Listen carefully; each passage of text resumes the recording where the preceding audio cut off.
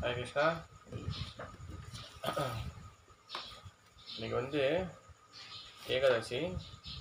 இன்றைக்கி வந்து நம்ம வந்து ஏகாதசி டைமில் வந்து நம்ம இன்றைக்கி வந்து அப்பார ஏகாதசி.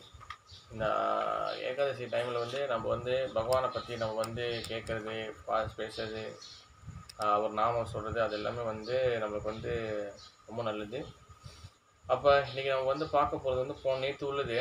நேற்று உள்ளது நம்ம வந்து சம்பவம் நேற்று உள்ளது நம்ம தொடர்ச்சி நம்ம பார்க்க போகிறோம் இப்போ தொடர்ந்து நம்ம ரெண்டு நாள் நம்ம என்ன பார்த்துட்டு வரோம்னா அநாதத்தை பற்றி நம்ம பார்த்துட்டு வரோம். அப்போ வந்து ஸ்ரீல விஸ்வநாத் சக்கரவர்த்தி தாக்கூர் வந்து தன்னுடைய புஸ்தகத்தில் மாதுரி கடம்பனியில் வந்து அநாதத்தை பற்றி நாலு விதமாக சொல்லிக்கிறாரு. ஒன்றாவது என்னன்னா துஷ்குருதி ஜாத்த அநாதா ரெண்டாவது சுக்குர்த்தி ஜாத்த அநாதா மூணாவது அப்ராத ஜாத்த அநாதா நாலாவது பக்தி ஜாத்த அநாதா அப்போ நம்ம வந்து ஒன்று ரெண்டு மூணு சுக் து துஷ்குருதி ஜாத்த அநாதா சுக்குர்த்தி ஜாத்த அநாதா அபராத ஜான ஜாத்த அநாதா பார்த்தாச்சு. இப்போ இன்னைக்கு நம்ம பார்க்க வேண்டியது என்னன்னா பக்தி ஜாத்தா அனாத்தா. அனாத்தனா நான் என்ன ஏற்கனவே சொல்லிக்க சொல்லிட்டேன். அனாத்தனா என்னதுன்னா வந்து நம்ம பக்தி பாதையில் தடையாக இருக்கக்கூடிய விஷயங்கள். அப்போ அது நாலு வகை பிரிக்கப்படுது. மூணு பார்த்தாச்சு இன்றைக்கி வந்து நம்ம நாலாவது பார்க்க போகிறோம் பக்தி ஜாத்தா அனாத்தா. பக்தி ஜாத்தா அநாத்தானா என்னன்னு சொல்லி பார்க்க போகிறோம் நம்ம. பக்தி பாதையில் நம்ம பக்தி பாதையில் முக்கியமான விஷயம் என்னதுன்னா சேவை. அந்த பகவானுக்கு சேவை செய்கிறது வந்து பக்தி பாதையில் முக்கியமான ஒரு அங்கம். அப்போ சேவை செய்கிறது வந்து யாருக்காக செய்கிறோம் யாரோட திருப்திக்காக செய்கிறோம் பகவானோட திருப்திக்காக நம்ம சேவை செய்கிறோம் ஓகேவா அப்போ அந்த சேவை மனப்பான்மை வந்து நம்மளுக்கு வந்து ரொம்ப முக்கியம். அது வந்து யாருக்காக செய்கிறோன்னா நம்ம பகவானோடைய திருப்திக்காக செய்கிறோம் ஆனால் இந்த பக்தி ஜாத்த அனாத்தானா என்னதுன்னா சேவை செய்கிறோம் பட் பட் என்னதுன்னா பகவானோட திருப்திக்காக இல்லை நம்மளோட சொந்த திருப்திக்காக அந்த விஷயத்தை செய்கிறோம் வச்சுக்கேன் நம்ம சொந்த இன்பத்துக்காகவோ நம்ம சொந்த திருப்திக்காக செய்கிறோன்னா அது வந்து பக்தி ஜாத்த அனாத்தா நம்ம வந்து பகவானோட திருப்தி நினைக்கிறது கிடையாது. நம்மளோட சொந்த திருப்திக்காக நம்ம சொந்த விஷயத்துக்காக செய்கிற அந்த சேவை அந்த விஷயங்கள் அது பக்தி ஜாத்த அனாத்தா ஏன்னா நம்ம ஆச்சாரியர்கள் வைஷ்ணவ என்ன சொல்லியிருக்காங்கன்னா பகவானோட திருப்திக்காக நம்ம செயல்படுவோம். பகவான் அவர் என்ன ஆசைப்படுறோம் அதை செயல் பண்ணுவோம் ஆனால் நம்ம நம்ம சொந்த திருப்திக்காக செயல்பட்டோமே ஆனால் அது பக்தி ஜாத்த அனாத்தா அப்போ நம்ம வந்து என்ன சொல்லுவாங்க சில சில டைமில் சில இடத்துல சில சில விஷயங்கள் சில இடத்துல என்ன நடக்குன்னா வெறும் வந்து டொனேஷன் டொனேஷன் என்னது என்ன சொல்கிறது பணம் மட்டும் கொலெக்ட் பண்ணிவிட்டு பணத்தை மட்டும் இது பண்ணிவிட்டு அந்த பணம் கொஞ்சம் பணத்தை வந்து சேகரிக்கிறது டொனேஷனை சேகரிக்கிறதுல மட்டும் குறியாக இருப்பாங்க. புரியுதா? டொனேஷனை சேகரிக்கிறதுல மட்டும் குறியாக இருப்பாங்க. அப்போ குரு என்ன சொல்கிறாருன்னா அது அது டொனேஷன் சேகரிக்கிறதுல மட்டும் குறியாக இருப்பாங்க. குருதேவன் என்ன சொல்கிறாருன்னா நம்ம பகவானோட திருப்திக்காக சேவை செய்தோமேனால் அந்த பணம் ஆட்டோமேட்டிக்காக வரும். இதா பணம் வந்து தன்னாலே வந்து சேரும். அப்போ நம்ம பகவானை திருப்திக்காக செய்யாதப்ப நம்ம சொந்த திருப்திக்காக செயல்பட்டுக்கிட்டே இருந்தோன்னா அது பக்தி ஜாதாநாத் தான் ஒன்று வந்து பக்தி ஜாத்தானாத் என்னதுன்னா நம்ம சொந்த சொந்த சொந்த இன்பத்துக்காக செயல்படுறது. அதாவது உதாரணம் வந்து உண்டு விஷயம் என்ன சொல்கிறேன்னா இப்போ என்னென்னா நம்மளுடைய என்ன சொல்கிறது ஒன்னொரு ஒன்னொரு ஒன்னொரு வேக வேற வேறு வகையில் சொல்கிறார் அதாவது என்னதுன்னா நம்ம வந்து வாழ்க்கையில் வந்து பணத்தை மட்டும் தேடி போயிட்டே இருக்கிறது. அப்புறம் வந்து அழகான மனைவி வேணும். நல்ல ஒரு என்ன சொல்வா நல்ல ஒரு வாழ்க்கை வேணும். அப்படின்னு சொல்லி சொந்த இன்பத்துக்காக தேடி போகிறது பிறகு பேரு புகழ் கிடைக்கிறதுக்காக தேடி போகிறது இந்த ரெண்டுமே இருக்கும் இது இது ரெண்டுமே இரு- இருக்கும்போது அது பக்தி ஜாத்தா அனாத்தா நல்லா சம்பாதிக்கணும் நல்லா நல்லா நல்ல ஒரு குடும்பம் இருக்கணும் நல்ல மனைவி இருக்கணும் அழகான மனைவி இருக்கணும் எனக்கு நல்லா பேர் புகழ் கிடைக்கணும். இப்படி சொந்த இன்பத்துக்காக என்னென்ன விஷயங்கள்லாம் செய்கிறோமோ அதெல்லாம் பக்தி ஜாத்தா அனார்த்தா பகவானோடைய திருப்திக்காக நம்ம எதுவுமே செய்யறது கிடையாது. அதான் பக்தி ஜாத்தா அனார்த்தா நம்மளுக்கு வந்து இந்த பக்தி பாதையில் நம்மளுக்கு வைஷ்ணவ ஆச்சாரியர்கள் மூலியமாக நம்மளுக்கு வந்து பக்தி கிருப்பா நம்மளுக்கு கிடைக்குது. சரி பக்தி எந்த பக்தி விதை நம்மளுக்கு கிடைக்குது. இந்த பக்தி விதை நம்மளுக்கு கிடைக்க நம்ம வந்து நம்மளுக்கு வந்து வைஷ்ணவர்கள் பக்தர்கள் தான் சு- தூய்மையான வைஷ்ணவர்கள் குரு சாது குரு தான் நம்மளுக்கு பக்தி விதை கொடுக்குறாங்க. அப்போ நம்மளுக்கு வந்து அந்த பக்தி விதையை நம்மளுக்கு கொடுத்த பிறகு அந்த விதைக்கு வந்து நம்ம தண்ணி ஊற்றணும் தண்ணி ஊற்றுறோன்னா அந்த விதை செத்து போயிடும். அப்போ அந்த பக்தி விதைக்கு தண்ணி என்னதுன்னா சிரவணம் என் கீர்த்தனம். அதாவது என்னென்னா பகவான் கதைகளை கேட்குறது இருக்கு. பகவான நாமத்தை உச்சாடனம் பண்ணுறது இந்த ரெண்டு தான் வந்து நம்மளோட ஆன்மீக பக்தி விதைக்கு தண்ணி. புரியுதா? அப்போ அப்போ இந்த பக்தி விதைக்கு நம்ம தண்ணி ஊற்றும் ஊற்றும் போது சுற்றி வந்து அந்த அந்த அந்த விதையை சுற்றி தேவையில்லாத செடிகள் வளருதுன்னா எங்கேயோ தவறு நடக்குது. அதாவது என்னதுன்னா நம்ம பக்தி பாதையில் நம்ம வந்து சிரவணம் கீர்த்தனம். பகவானை பற்றி பாடுறோம் பகவானை பற்றி நம்ம வந்து கே என்னது கேட்குறோம். அப்போ வந்து இந்த பகவானை பற்றி கேட்குறோம் பகவானை பற்றி பாடுறோம். அப்போ அந்த பகவானை பற்றி கேட்கறது பாடுறதுல ரெண்டுமே செஞ்சோம். ஒன்றும் தேவையில்லாத நம்மளோட நம்ம மனசு தேவையில்லாத ஆசைகள் வளருதுன்னா அதுக்கு பேர் என்னதுன்னா அந்த செடி பக்கத்தில் அதாவது அந்த விதை அந்த அந்த செடி அந்த விதை வந்து வளர்ந்து செடியாக மாறல அந்த செடியை பக்கத்தில் தேவையில்லாத செடி இல்லை தேவையில்லாத தேவையில்லாத ஒரு புல்லு இந்த மாதிரி வந்து வளர ஆரம்பிக்குதுன்னு சொல்லி அர்த்தம். அதுக்கு பேர் என்ன சொல்லுவாங்கன்னா உபாசக்கா புரியுதா? உபாசக்கா அந்த தேவையில்லாத விஷயங்கள் தேவையில்லாத அந்த பக்தி பக்தி செடிக்கு பக்கத்தில் தேவையில்லாத வளர அந்த அந்த செடியோ இல்லை அந்த புல்லோ அதுக்கு பேர் என்ன சொல்லுவாங்க உபாசக்கா அது வந்து என்ன சொல்லுவாங்கன்னா புரியுமே சொல்லணும்னா நம்மளுக்கு நம்ம வந்து பகவானுடைய கதைகளை கேட்குறோம். பகவான் நாம உச்சாரணம் பண்ணுறோம் ஆனால் நம்மளுக்கு தேவையில்லாத விஷயங்கள் ஆசைகள் வளருது. அதாவது என்ன மாதிரி ஆசைகள்னா முக்தி புக்தி வஞ்சனா. அதாவது என்னென்னா நான் வந்து முக்தி அடையணும். அப்படி இல்லைன்னா உணவு விஷயம் என்னதுன்னா நான் இந்த லோகத்தில் கொஞ்சம் நல்ல சுகமாக வாழணும். இல்லைன்னா இந்த லௌகீக ஆசைகள் உள்ளுக்குள் வளரும். இதுதான் வந்து பக்தி பாதையில் இருந்து பகவானுக்கோட ப- கதைகளும் கேட்டு பகவான் நாம் உச்சாரணம் பண்ணியும் பிறகு மனசுக்குள்ள அந்த இந்த லோக இந்த லௌகீக ஆசையும் இல்லை இந்த முக்தி அடைகிற ஆசையும் இருந்துச்சுன்னா அதுக்கு பேர் உபாசக்கா. அப்போ இந்த இந்த இந்த லௌகீக ஆசைகள் இந்த பௌதிக ஆசைகள் இருக்கு இருக்குது இருக்கும்போது அது பேர் என்ன சொல்லுவாங்க? உபாசக்கா. அப்போ இந்த உ- உபாசக்கா என்னென்னு சொல்லி குருதேவ் சொல்கிறாங்க உபாசக்கா என்ன என்னதுன்னா ப்ரொவிடன்ட் ஆக்டிவிட்டி நிஸ்தி நிஸ்தி நிஸ்திச்சா ஆச்சாரா. ப்ரொபிட் ஆக்டிவிட்டின்னு என்னன்னா தடை செய்யப்பட்ட காரியங்கள். பக்தி பாதைக்கு தேவையில்லாத தடை செய்யப்பட்ட விஷயங்கள் நம்ம மனசுக்குள்ளே தோன்றது அது உபாசக்கா சொல்லி சொல்லுவாங்க. ரெண்டாவது என்னதுன்னா குத்தி நாட்டி முதல் என்னன்னா நிஸ் நீஸ் பிச்சா ஆச்சாரா. அப்படின்னா என்னதுன்னா இந்த பக்தி பாதைக்கு எதிரான விஷயங்கள் நம்ம மனசில் தோன்றது. அதான் நிஸ்திச்சா ஆச்சாரா. ரெண்டாவது என்னதுன்னா குத்தி நாட்டி குத்திநாத்தி வந்து ரெண்டு வகைப்படும் அதாவது என்னதுன்னா பிறர் மேலே பிறர் பக்தர் மேலே பிறர் பிறர் மேலே குறை காண்பது.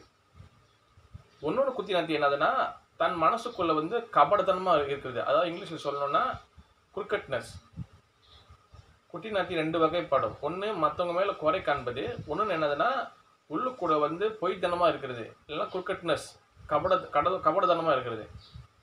மூணாவது என்னதுன்னா ஜீவ இம்சனா ஜீவ இம்சனா என்னன்னா மற்ற பேருக்கு மற்றவங்களுக்கு நம்மளை தவிர்த்து மற்றவங்களுக்கோ இல்லை மற்ற உயிரினங்களுக்கோ என்னது தொந்தரவு தருது.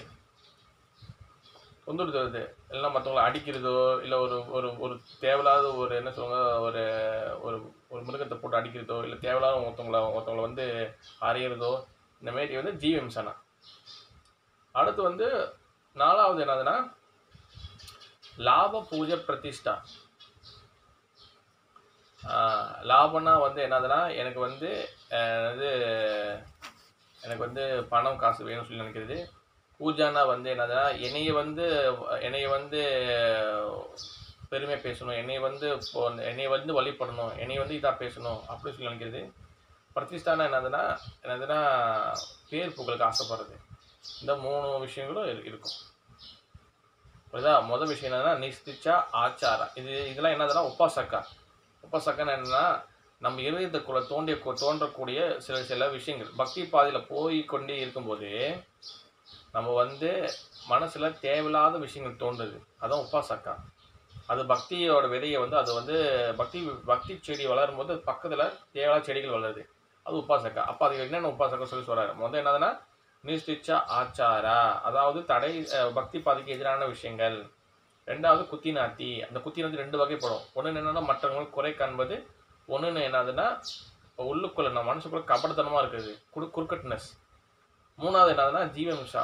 மற்ற உயிரினங்கள் மேலே அதாவது மற்ற நபர்கள் மேலே என்ன சொல்லுவாங்க ரொம்ப கடுமையாக நடந்து கொள்வது. நாலாவது என்னன்னா லாப பூஜா பிரதிஷ்டா. லாபானா என்னதுன்னா நம்ம வந்து எது செய்தாலும் வந்து பலனை எதிர்பார்த்து செய்யறது இல்லைன்னா வந்து ஏதாச்சும் வந்து நம்ம வந்து லாபத்தை எதிர்பார்த்து செய்யறது. பூஜானா என்னதுன்னா எனக்கு முதல் மரியாதை கொடுக்கணும் எனக்கு இது பண்ணணும்னு சொல்லி நினைக்கிறது. நான் மூணு அடுத்த பிரச்சனை என்னதுன்னா பேர் புகழுக்கு ஆசைப்படுறது. ஏதாச்சும் செஞ்சால் என்னை பாராட்டணும் அது மாரி நினைக்கிறது. இதெல்லாம் வந்து என்னதுன்னா உபாசக்கா. அப்போ இதெல்லாம் வந்து என்னன்னா பக்தி பாதைக்கு எதிரான விஷயங்கள். இதுதான் பக்தி ஜாத்தான் அர்த்தம். அப்போ ஒன்று சொல்கிறேன் என்னதுன்னா இந்த மாரி ஆசைகள் இப்போ நான் சொன்னது இந்த உபாசக்கா இதெல்லாம் வந்து நம்ம மனசுக்குள்ள நம்ம வந்து டெவலப் ஆனிச்சுன்னா அந்த இந்த இந்த இந்த இந்த தேவையில்லாத இந்த உபாசக்கெல்லாம் நம்ம மனசுக்குள்ள டெவலப் ஆனிச்சுன்னா பிரதிஷ்டானா என்னதுன்னா பேர் புகழ். அப்போ இந்த சொன்ன உபாசாக்கா இந்த உபாசாக்கா இந்த விஷயங்கள்லாம் வந்து நம்ம மனசுக்குள்ள அதிகரிச்சிச்சுன்னா இந்த உபாசாக்கா வந்து என்ன பண்ணுன்னா நம்மளுடைய பக்தி விதையை வந்து அழிச்சு விடும் அழித்து விடும் புரியுதா? அப்போ நம்ம என்ன பண்ணணும்னா இந்த உபாசக்கா இந்த நம்ம பக்தி செடிக்கு பக்கத்தில் வர தேவையான செடிகளை நம்ம வந்து வெட்டி தூக்கி எறியணும். அதுவும் அடியோட வேரோட பிடுங்கி தூக்கி எறியணும். அப்போ இந்த உபாசக்காவை இந்த தேவையில்லா செடிகள் அதாவது இந்த தேவையில்லாத ஆசைகளை வளரட்டுமே ஆனால் அது நம்மளுடைய பக்தி விதையை வந்து சாவடிச்சிடும் புரியுதா?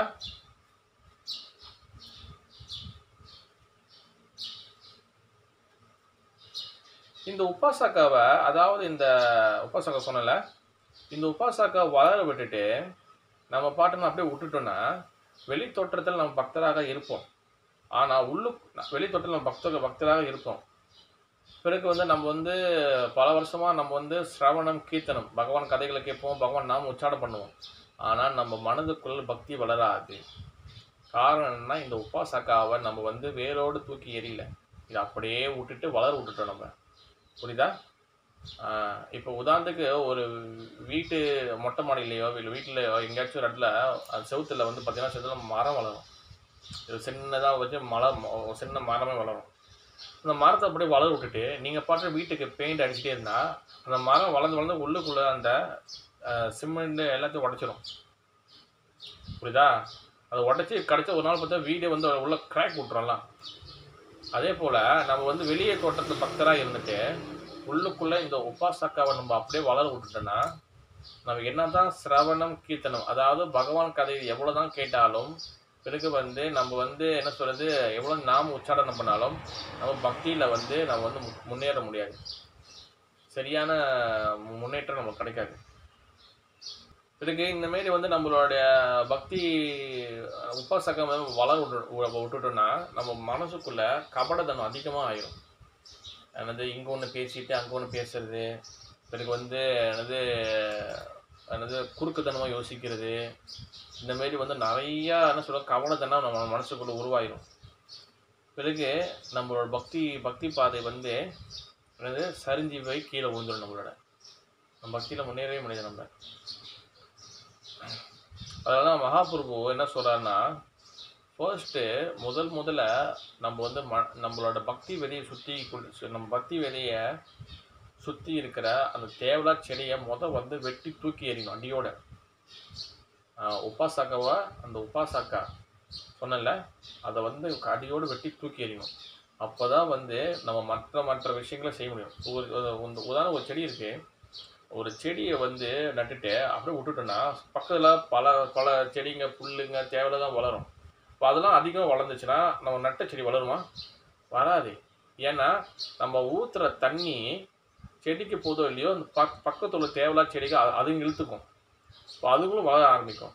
அப்போ நம்மளோட நட்ட செடியோட வளர்ச்சி வந்து குறைஞ்சி போயிடும் அப்போ என்ன பண்ணணும்னா சுற்றி எல்லா தேவையில்லா செடியை வெட்டி விட்டுட்டு அதுக்கப்புறம் அதுக்கு மண் அணைச்சி தண்ணி ஊற்றினா அதுக்கப்புறம் அது நேராக வளரும் அதே மாதிரி பக்தி வேதியில் நம்ம வந்து வ- நம்ம பக்தி நம்ம பக்தி வேதி நம்மளுக்கு கிடைக்குது.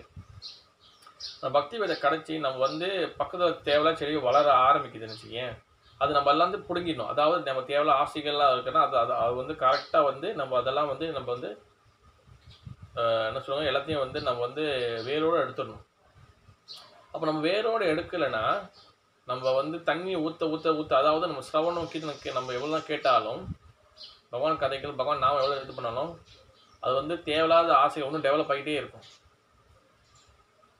அது வந்து என்ன சொல்லுவாங்க அந்த சிரவண கீர்த்தனை வந்து நம்ம என்ன என்ன பண்ணணும்? அது செய்ய செய்ய செய்ய செய்ய செய்ய நம்ம என்ன பண்ணணும்? நம்மளுடைய உள்ளுக்குள்ளே வந்து அந்த அந்த உபாசகம் இருக்கிற வரைக்கும் நம்ம பக்தியில் முன்னேற முடியாது. ஏன்னா நம்ம மனசுக்குள்ளே வந்து கபடதனம் பொய் அகங்காரம் எல்லாமே உள்ளக்குள்ளே இருக்குது அப்போ எப்படி நம்ம சிரவண கீர்த்தம் கேட்கும்போது இதாக எப்படி இதாகும்? அதனால என்ன பண்ணணும்? இந்த உபாசகாவை அதாவது இந்த கேவல ஆசைகளை நம்ம அடியோடு இது பண்ணணும். அதுக்கு நம்ம என்ன பண்ணணும்னா வைஷ்ணவ ஆச்சாரிகளுடைய கருணை நமக்கு வேண்டணும். குரு கருணை சைத்தன்ய மகாபுருவனை கருணை ஆஹ் சாதுகுரு கருணை நம்மளுக்கு ரொம்ப முக்கியம். அப்போ அவங்க சொல்கிறபடி நம்ம நடந்துக்கிட்டோன்னா நம்ம வந்து இந்த உபாசக்கா இந்த தேவையில்லா ஆசைகளை நம்ம வந்து விடுவிக்க முடியும்.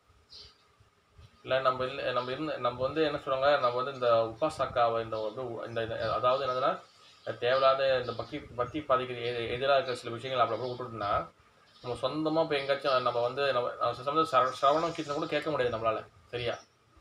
நம்ம சரியாக ஜெபம் பண்ண மாட்டோம் சரியாக வந்து ஹரிகதை கேட்க மாட்டோம். ஹரிகதை கேட்டால் கூட சரியாக காதில் வழங்காது. அப்படி இப்போ ஏதோ எண்ணத்தில் இருக்கும்.